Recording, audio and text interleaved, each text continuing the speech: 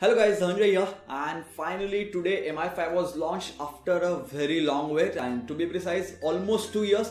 Because MI4 was launched 2 years ago. And after that they did not launch any type of flagship when it comes to MI series. And today they just launched MI5 which is the latest flagship device that you can buy in the market you cannot buy right now but you will be able to buy it in coming months. And in this video we are going to discuss the specs of mi5 uh, my initial thoughts my initial impressions how i think and most important point the pricing of mi5 so yes we are going to discuss about all these points. And now let's get started with the specs of the mi5 so the mi5 is just 7.3 millimeters thin and it's not the thinnest phone in the world obviously but it's pretty thin considering it's a flagship phone and it's having a 3000 mAh battery. So yes 3000 mAh battery and I was kind of disappointed with 3000 mAh battery uh, as I was expecting it to be 4000 at Xiaomi launched the Redmi Note 3 uh, and the Redmi 3 with 4000 mAh batteries and both the devices were slim too. So i thought that with some dense technology that they use in their batteries uh, xiaomi will manage to get 4000 mAh battery in mi5